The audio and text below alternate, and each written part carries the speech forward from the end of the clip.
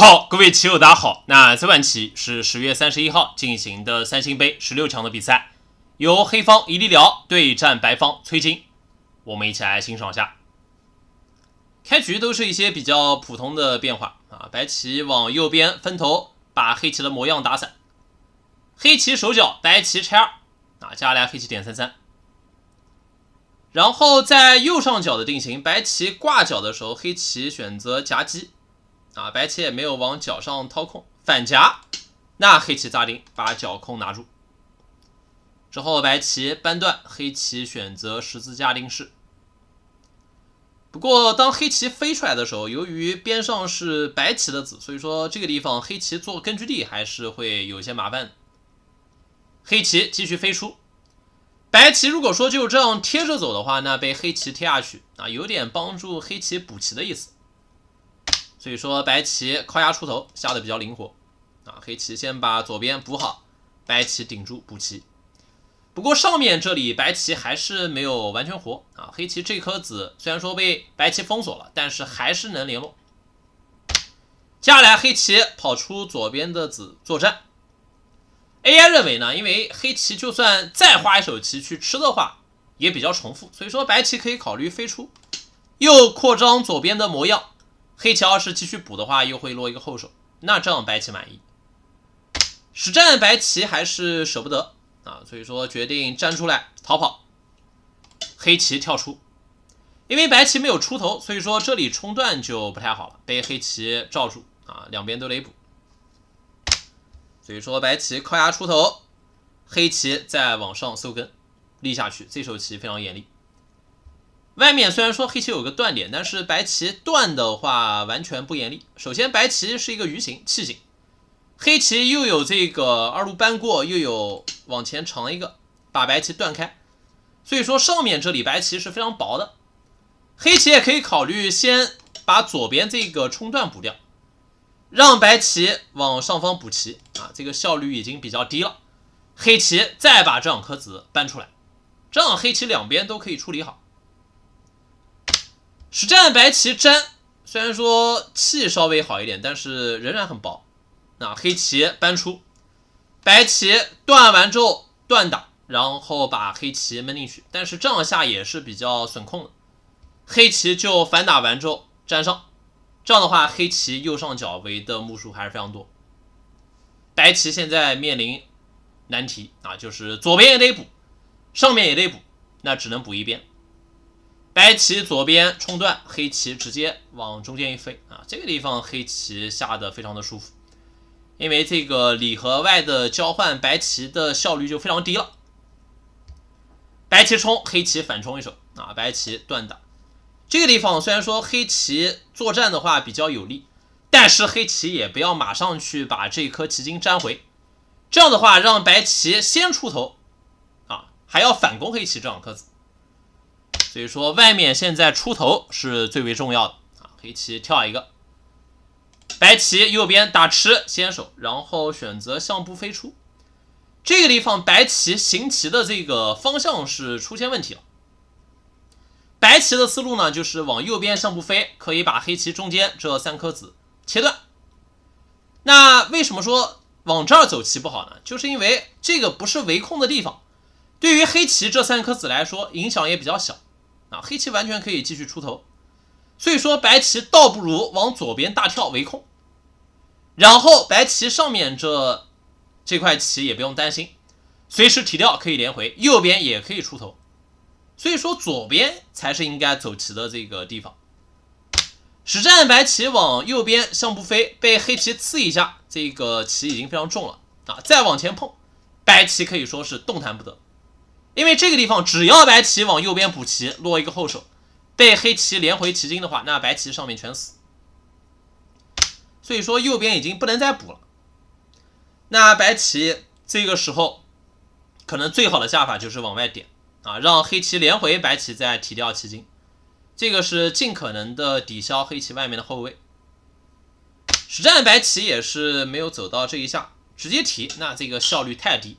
上面这块棋全部是团在一起，黑棋往右边搬过，那黑棋右边全部连回的话，白棋连同这个拆二都变薄了所以说整个上方的战斗白棋是比较亏的，这个胜率也一直在下降。接下来白棋尖顶围住角控，然后飞出啊扩张模样。黑棋非常敏锐的往入拖，先保留一些味道啊，以后不管是这个断还是说反扳，总之黑棋是有后续手段。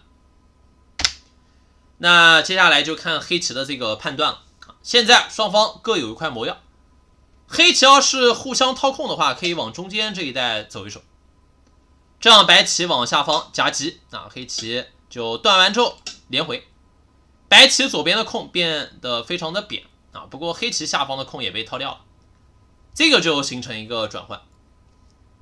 实战黑棋可能觉得现在的局势还不错啊，所以说不想走的这么复杂，就立二拆三，把底下连成一片，白棋也往左边围。那这个地方 AI 觉得黑棋确实不错啊，甚至于直接推荐黑棋的招法是这样，在外面稍微压缩一下白棋啊，比方说往这儿一点有跨断，白棋补，黑棋飞回。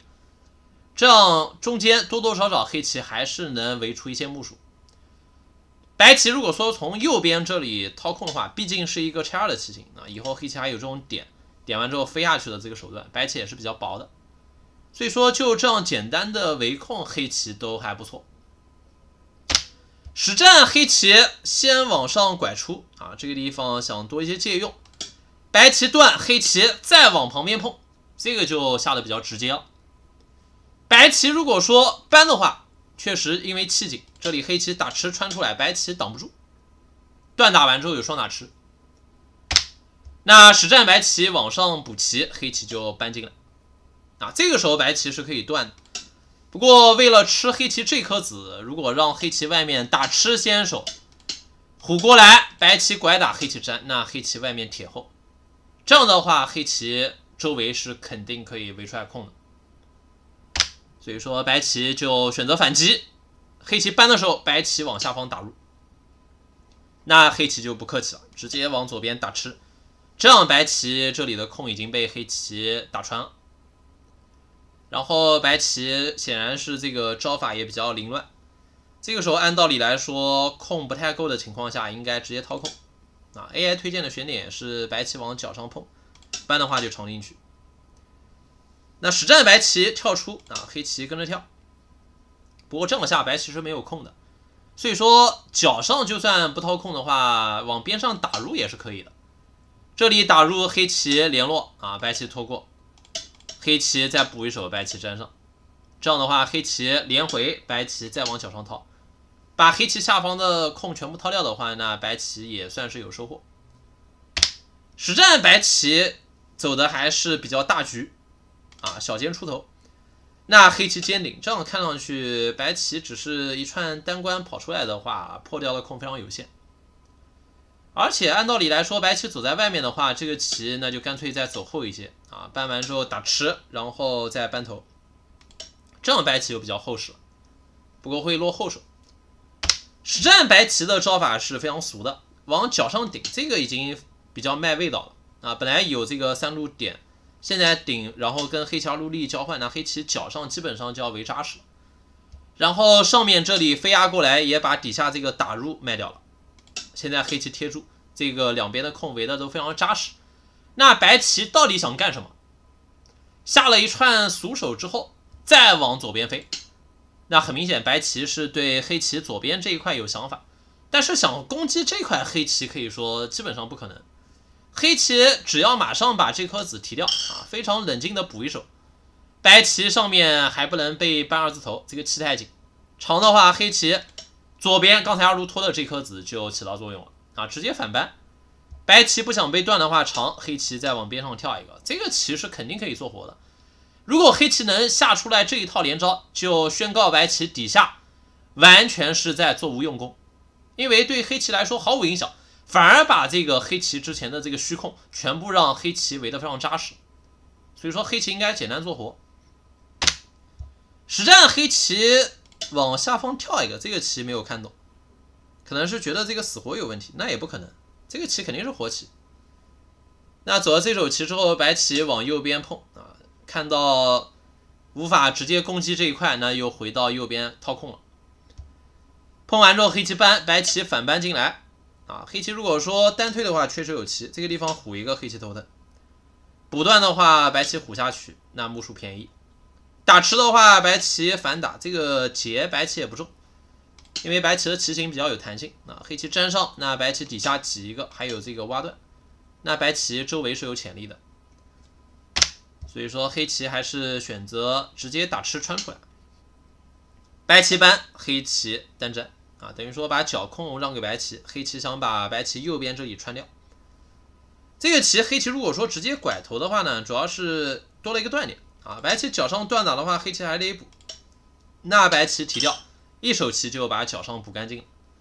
除此之外，黑棋外面断的话，白棋这颗棋筋还可以继续跑啊，两边形成缠绕攻击，这样黑棋反而不好。所以说黑棋还是单粘先补断，白棋角上打吃粘上，黑棋拐头。断的话会被白棋闷进去，因为角上这里白棋打出完之后还要继续贴住收气，所以说黑棋得补，那就被白棋全部封锁了。黑棋呢是比较看重外面的厚薄的啊，决定对白棋右边这一块形成威胁，所以说黑棋果断选择放弃角控冲出来，白棋倒虎补棋，黑棋再战。不过这个地方确实这样选择的话就多了一点变数啊，毕竟黑棋下方。这四颗子还没有安定，白棋先往上方搬，交换一手，然后拐头啊，黑棋二路搬过，白棋右边做活，因为这块切不能弃，目数太大，黑棋小尖逃跑。接下来白棋跳出，黑棋继续小尖。其实这个时候黑棋只有一块棋需要处理啊，白棋两块棋都有问题，右边也不活，底下还有扳断，所以说仍然是白棋南下。这个时候呢，AI 已经在劝白棋赶快把下方这个扳断补掉了。这个地方补一手是非常有必要的。右边虽然说非常危险，但是也不至于说马上就会死掉。首先，白棋有这种二路飞做眼的手段；其次呢，像这种断，黑棋要是边上补呢，白棋就可以各种出头的方法。打吃的话，紧住黑车气，白棋扳也可以做眼。所以说，白棋应该先把底下这个问题补好。实战白棋还是比较担心右边，所以说断先把这里安定。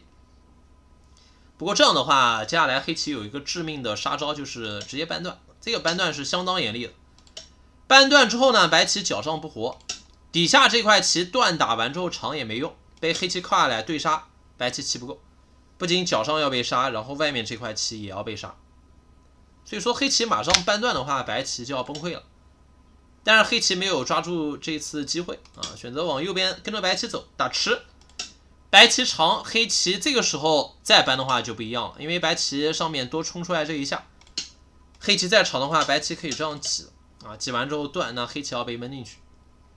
所以说这里黑棋没有下好，实战黑棋向不飞，白棋继续往上补棋啊，黑棋现在搬断的话还是有这个问题。所以说，先挑一个联络完整，白棋往下方顶住。接下来的话，黑棋是选择往右边粘。这个地方黑棋已经错失刚才那次机会了啊！如果说往底下这样联络的话，也不行。白棋可以刺一个，把底下先补好。黑棋粘，白棋出头。右边白棋也死不掉，黑棋长的话，白棋挤完之后断打也是活棋。所以说这样下的话，白棋两边都要分别做活了。实战黑棋先往右边破眼粘打吃，白棋挤一个，黑棋虎一个啊。之后白棋往底下冲断打，黑棋粘，白棋挺头，黑棋靠住。然后白棋还是要顾及到角上这里的断点，所以说贴住。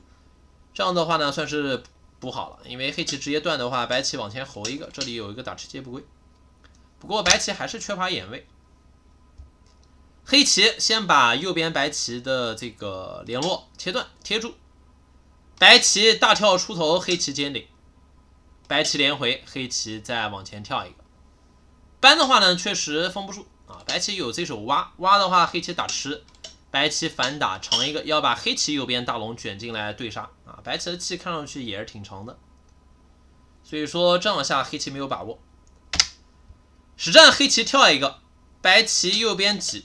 挤完之后往中间长，黑棋粘上补断，白棋右边冲先手，再往中间一跳。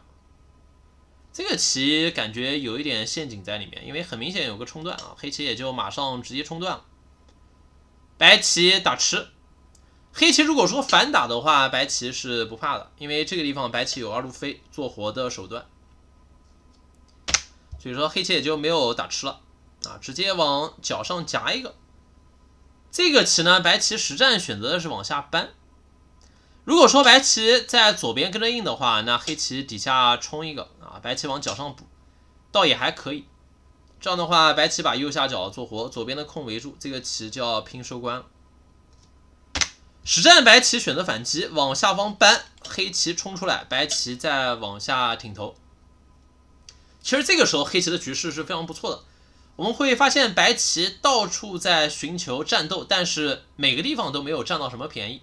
右下角这个空也没了，右边这块棋虽然说活了，但是也没有什么目数啊，反而是让黑棋下方成空。中间也让黑棋走的比较厚啊，而且顺带黑棋左边这块棋都快连回了，所以说目前来看白棋是没有什么机会的。但是恰恰在下一手棋，黑棋突然出现了巨大的失误，这个地方完全不应该。我们先来看一下黑棋正确的应对方式啊，这个地方首先粘可以，粘的话白棋夹下来，黑棋一路搬，留了一个扳过。白棋要是阻度是后手。而且白棋外面要被黑棋冲烂了，这个地方得补啊，黑棋可以扳回。这样的话，白棋左边还有问题，冲过来的话，黑棋可以直接挤在这儿，把白棋断开。这样的话又要杀右下角，然后外面这块棋还有问题，也不活。黑棋底下虽然说也没有完全活，但是这个气肯定是要多于白棋角上这一块。所以说这样下的话，黑棋能够杀白棋。还有一种就是更为简明了，就是往底下搬啊，把这两颗子吃住。白棋夹过来，黑棋补一手。白棋长上去，黑棋直接冲完之后断。底下有个断打，白棋得补。黑棋长，白棋团住，那黑棋断完之后，这个是为了紧气，粘上白棋提，黑棋再往角上跳。这样的话也可以反杀白棋，因为白棋底下这根棍子的话。欠了一个扳扳过啊，这个地方要补一手，所以说右边像这种打吃做也来不及，会被黑棋直接反杀。那白棋如果说扳过的话，黑棋就直接冲一个啊，把这个眼破掉，然后简单收气。这个棋黑棋是有一只眼的，白棋没有眼，而且这个攻气非常多，所以说这个棋白棋是肯定杀不过黑棋的，这样白棋也要被吃掉。所以说，这里无论如何，就是这两颗子不能让白棋连回去。黑棋不管是直接搬紧气，还是说粘上分段，都可以，白棋这里都要死掉。但是实战黑棋却走出来一个最差的啊，从这个二路爬，被白棋往底下打吃，突然就出棋了。因为这个地方看的是非常清楚啊，黑棋先打，然后占上这三颗子的话，白棋从这儿打吃就溜回去了。黑棋占上，白棋提，再从这儿挤。跟白棋对杀的话呢，黑棋下方这一串只有四口气，显然是杀不过白棋的。所以说这个非常低级的失误啊，突然就让黑棋右下角被白棋反杀了，那这个局势马上就要逆转。不过也不能说白棋非常稳啊，因为左下角这个地方确实还是比较薄的。接下来黑棋打吃，接下来白棋下的也不够简明，这个地方就长一个。黑棋冲，那就把角让给黑棋啊！白棋只要外面吃通的话，这个目数白棋已经反超了。实战白棋还不依不饶，这个地方居然还要把角守住啊！黑棋提，那外面的厚薄完全就不一样了。白棋下立，黑棋中间断打啊！白棋右边做活，黑棋跳破眼，白棋冲完之后再断打，黑棋提，白棋挡下去。右边大龙做活之后，黑棋往底下粘，白棋打吃，黑棋粘上先手，白棋提，然后黑棋把这个尾巴跑出来，这样的话很明显看到左下角白棋这样选择不不便宜。虽然说我把角控围住了，但是黑棋靠近中间这一带也是成了不少目数啊，所以说这个差距并不是非常大。接下来白棋拆二，把这个边空捞到手啊，黑棋靠下去。白棋搬，黑棋顶，白棋打吃，黑棋粘。接下来白棋粘上，黑棋虎一个，然后再往右下角跳。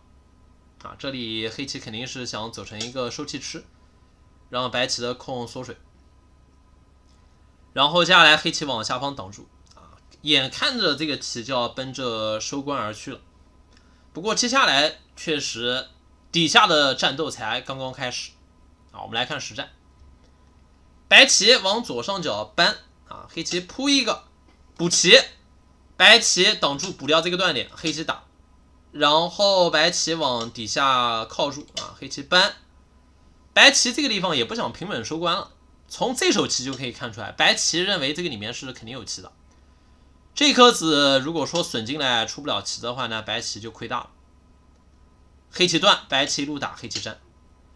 接下来的话，白棋选择的是贴住。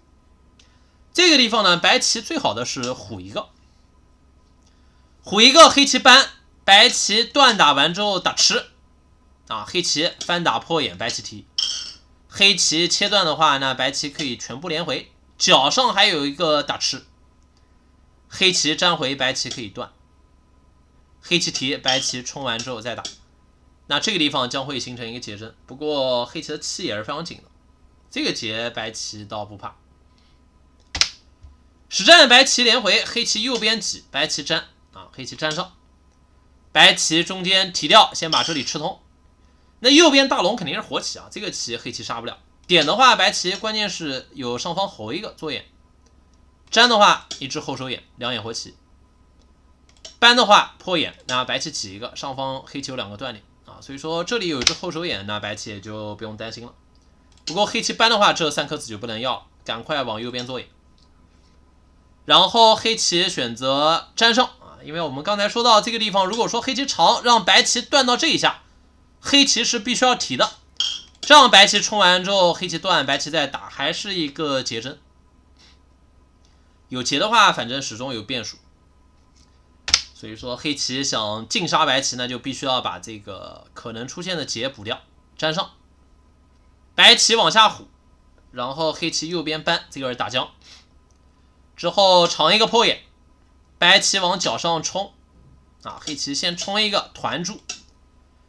接下来的话，白棋选择是冲。我们来看一下，白棋如果说先往上粘上长气是一个怎样的变化？其实这样下黑棋是不行的，因为黑棋底下得断，白棋粘上先长气，脚上有冲断，黑棋得补。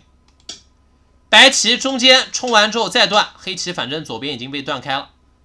黑棋打吃收气，白棋这两颗子就不要了啊，直接往右边断。这样的话，黑棋底下得连回去，不然的话，中间补棋被白棋往这儿打，接不归。黑棋得连回，白棋可以往中间打吃，这儿还有一个双打啊，这样白棋可以全部吃掉。不过这个计算量也是非常大的，特别是在读秒的时候，想把这个里面全部算清楚，难度相当之高。所以说，白棋还是按照这个惯性思维，黑棋团住，白棋先把黑棋冲断再说。啊，黑棋断打，白棋粘。接下来黑棋打吃也是只此一手，先手把这只眼保住。白棋粘上，黑棋再往左边扑，这个是以后就是有这种挖啊挖，然后白棋打，就是收气的话，这个白棋是得先粘再提，然后再收气的。这个先铺一下，有利于这个延气，然后黑棋立下去，先把这个气长出来。这个气长出来之后呢，白棋也是没有马上在这儿动手啊，先往上粘上，这个是先手，黑棋粘上做活，白棋再往中间粘。其实黑棋这个地方还有个杀招，可以马上把这个局势反转，就是断进去，这个是有关白棋的这个气的。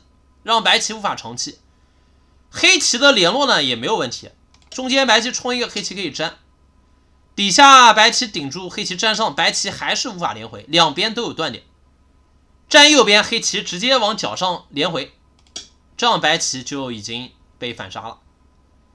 所以说，只要反杀白棋这一块的话，那黑棋这个局势要翻，胜率达到八十多，而且除此之外，白棋角上还有棋，黑棋可以往二路点。啊，这个棋黑棋要翻盘了。那实战呢，黑棋没有走到这一下，选择冲一个啊，冲一个，那以后白棋粘上还是可以长气。这个要点没有走到，不过下一手棋白棋又出现了小问题啊，就是往上点，这个应该是打将。那对于白棋来讲呢，刚才还不如直接提，提的话黑棋挤，白棋往中间这里冲完之后断打，黑棋右边粘，白棋提啊，黑棋挤一个，白棋可以先打吃，然后往角上粘，这样的话就是用这块棋跟黑棋左边这块棋对杀。黑棋收气，白棋收气。黑棋再打的时候，白棋这个尾巴就被不能要了啊！再要的话被黑棋打死掉了。白棋可以先粘，黑棋提，那白棋再打，刚好快一气可以把黑棋左边吃掉。所以说这个地方白棋直接提掉就可以了，提掉之后收气。实战白棋往上打将，但是这个地方又给了黑棋转机。黑棋在这个时候还是应该走到这个收气的要点，先把白棋这块棋杀掉，然后白棋上方破眼的话，角上还有一个一路扑劫，这样的话先把白棋一条龙吃掉，然后左上形成打劫活，黑棋还是有机会，因为黑棋在下方也是有劫财的，所以说这个棋黑棋应该拼这个劫。实战黑棋也是可能这个时间来不及去思考这个劫财的数量如何。所以说也是跟着白棋先继续走啊，把这个活掉。白棋上方贴住黑棋，居然还跟着白棋继续走，这个其实价值已经非常小了。然后让白棋多出来非常多的这个思考的时间，最终决定把下方粘上。那下到这儿还是非常的复杂，这个底下有好几块棋纠缠在一起对杀。黑棋团住收气，白棋提啊，黑棋现在再挤，其实已经为时已晚。被白棋断打完之后，先粘粘在这里长气的话，白棋气又变多。然后黑棋往右边挤断，白棋上方打吃，先长出来一口气，然后再往右下角收气。其实这个地方白棋也不用在右下角收气了，直接往下方挖就把黑棋挖死了。这里黑棋断打的话，白棋可以翻打破眼啊，黑棋做眼也没用，白棋直接收攻气就行了。这里粘上。啊，黑棋收气，白棋再收气，还是快一气杀黑棋。实战白棋往右下角收气，其实没有必要啊。黑棋往底下一路立，而且白棋也没有这个点在这儿收，搬的话就差一点了。黑棋如果说马上打吃的话，白棋打吃破眼收气，黑棋先提劫，那白棋只有先粘劫啊，这样黑棋断吃。这个里面不管怎么样，还是会形成一个劫阵。啊，虽然说是一个缓气劫啊，但是黑棋还是不行。实战黑棋选择单粘，单粘的话被白棋把这只眼破掉，那黑棋只有继续破眼。关键是右下角这个对杀黑棋不行，被白棋挡住收气的时候，黑棋如果说打吃，然后收白棋中间的气，白棋再收气，还是快一气杀黑棋。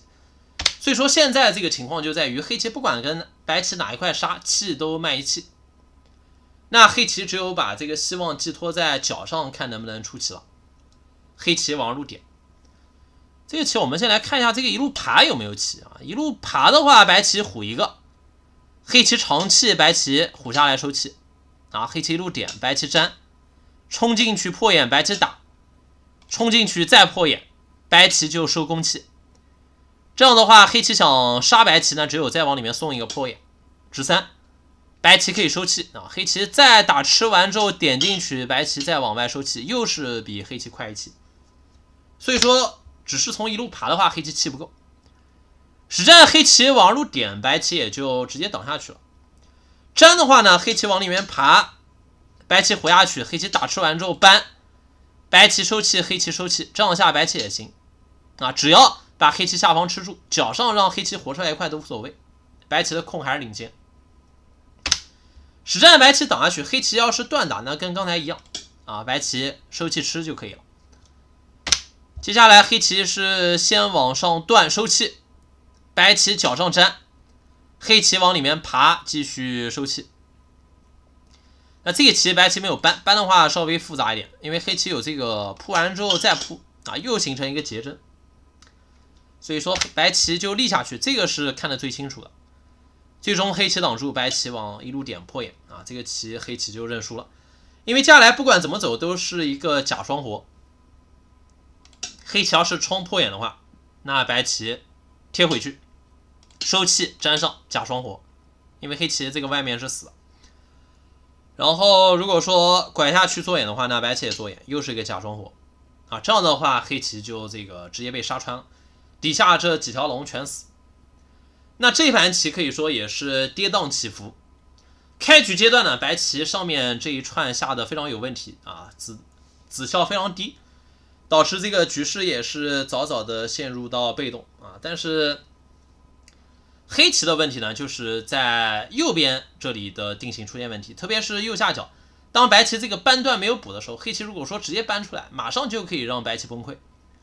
实战黑棋的这个招法也是有问题。导致白棋两块棋全都能活棋，然后黑棋并没有太大的收获。但是因为之前黑棋的优势比较大，所以说仍然是黑棋好下的局面。关键的地方就在于黑棋突然出现了这个让人看不懂的这个失误，包括底下这个直接往路爬，让白棋直接反杀右下角，这个棋黑棋的失误真的是比较低级。还有就是在左下角这里啊，左下角收气的时候，黑棋如果说直接往里面挤一个收气的话，这个棋能把白棋反杀。后面就算黑棋看不到白棋打将往上方点破眼，黑棋应该也是先把左下角杀掉，然后再拼左上角这个劫。但是黑棋也是判断失误啊，始终跟着白棋在走，最终让白棋又发现了这个怎样去长气，然后把黑棋这几块棋全部吃掉。好，那这盘棋就给棋友们带到这里，希望大家看得过瘾。如果喜欢我的视频，请棋友们给我点个赞，谢谢各位的支持。我们下一期视频再见，拜拜。